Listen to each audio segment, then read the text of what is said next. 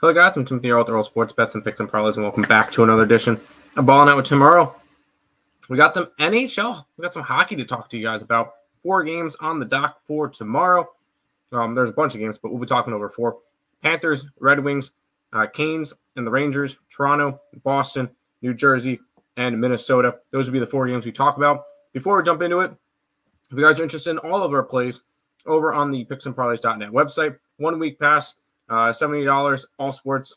I will say none of these have any influence on Nick's picks. Nick controls the hockey. So I could have something here. It could be something different on the site. Nick controls hockey.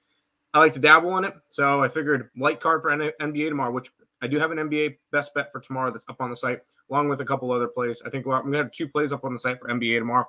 Short slate. But if you guys are interested in all that stuff, picksandparlays.net forward slash Tim. And then make sure you guys are following Earle Sports Bets on all social media platforms. Let's jump into some hockey. We'll look at the Panthers and the Red Wings. It's a pick 'em with a total of six and a half in this game. You get the Panthers coming into this one four, three, and one. You got the Red Wings coming into this one six, three, and one. And I looked at this Panthers team. They just had a rough loss in overtime, a game that they probably could have won against the Boston Bruins. Previous to that, they won four out of five they were looking good, and they looked good in that Boston game defensively. Just an overtime loss, two to two. They're going into there, three two final, not a big deal.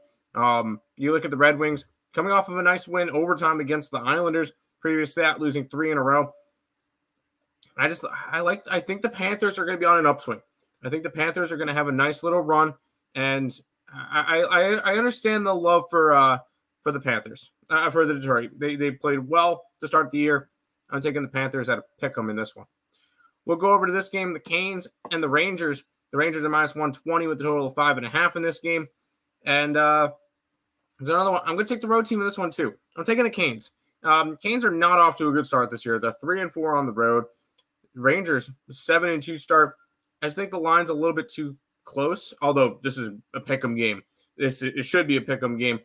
I'm going to take a little bit of plus money with Carolina. I think they, I think a road trip's going to be good for them. Um, they've won three in a row now against Seattle, San Jose, and Philly, but they're starting to win now. I think they're starting to get they're getting healthier. They have a couple pieces that came back. The reappearance of Andrei Svechnikov has definitely really helped this Canes team. I think he helps them to a win over the Rangers. We'll head over to the, I would say game of the night, but there's plenty of good games tomorrow. So this is a fun slate. Uh, Leafs and Bruins. The Bruins are minus 120 with a total of five and a half. And you get the Bruins that are 8 0 and 1 to start the year. Arguably, if I had a power rankings, I had the Leafs as number one in my power rankings to start the year. They've dropped a bunch. Boston would be number two behind Vegas, but I am grabbing the Leafs in this one. I think it's a good bounce back spot. Get them on the road because they just played a game at home that they got wrecked. The Kings four to one. Uh, I think going on the road is going to be good for them.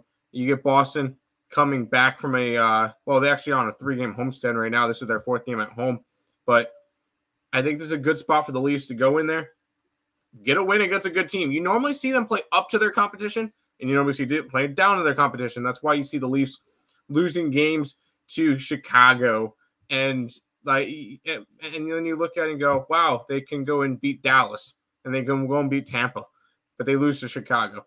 This team doesn't make sense. I think they step up against Boston though. We'll take them there.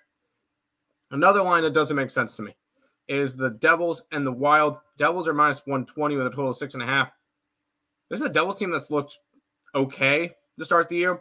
They're five and five, two and one.